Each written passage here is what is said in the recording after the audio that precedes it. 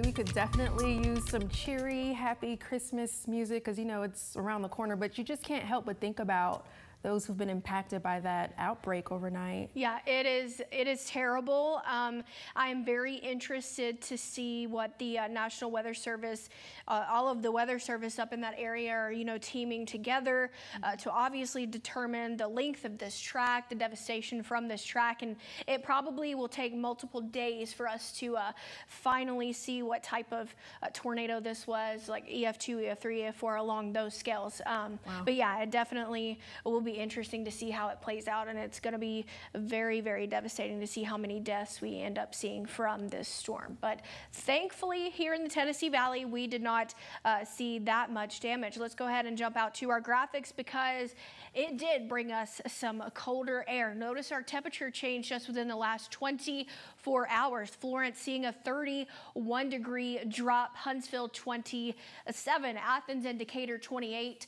Fayetteville 23. So it's definitely going to be much colder tonight than it was last night. Already seeing 43 right now in Huntsville, 41 in Fayetteville, 43 in Cullman. Notice our western side of the Tennessee Valley starting to clear out. We still do have some cloud icons towards the central and eastern part.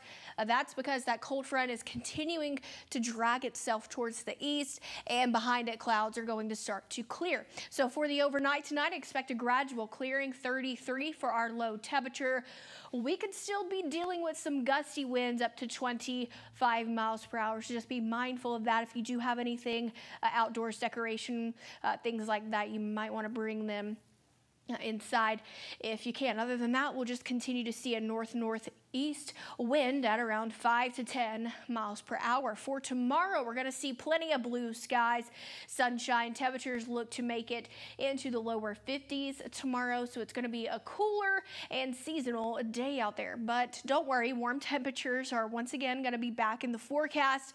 54 for the expected high tomorrow, uh, but notice we're going to be right at 69 on Wednesday, 70 degrees on Thursday. So the Climate Prediction Center does have the Tennessee Valley much less the entire southeast, uh, under the area of above average temperatures for next week. So keep in mind our average temperature right around this time is uh, 56. So we're going to be well above average. Cold front has pushed off to the west, bringing in the rain that we saw earlier this morning with it. Like I said, we're just left with a few clouds out there and some much cooler air. But it does look like high pressure will build behind the cold front.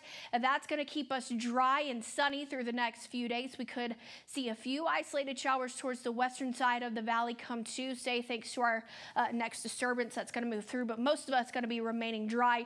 And it looks like our next rain chance will be coming towards the end of the week. So enjoy the dry weather while we've got it, like I said, because rain chances will start to uptick uh, once we head towards the end of the week and into the weekend weekend thanks to another cold front that's going to be headed in our direction. Good news, it doesn't look like severe weather is going to be a problem as of right now. Seven day forecast, 54, cooler afternoon tomorrow. We'll see plenty of sunshine on Monday, right at 60 degrees is what we're expecting.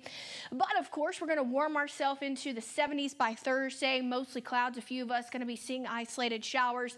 Friday and Saturday will be the greatest opportunities for some rain. Uh, it looks like Friday uh, will be our greatest opportunity opportunity once the cold front moves through. Going to drop temperatures into the mid 60s by Saturday. Kenesha?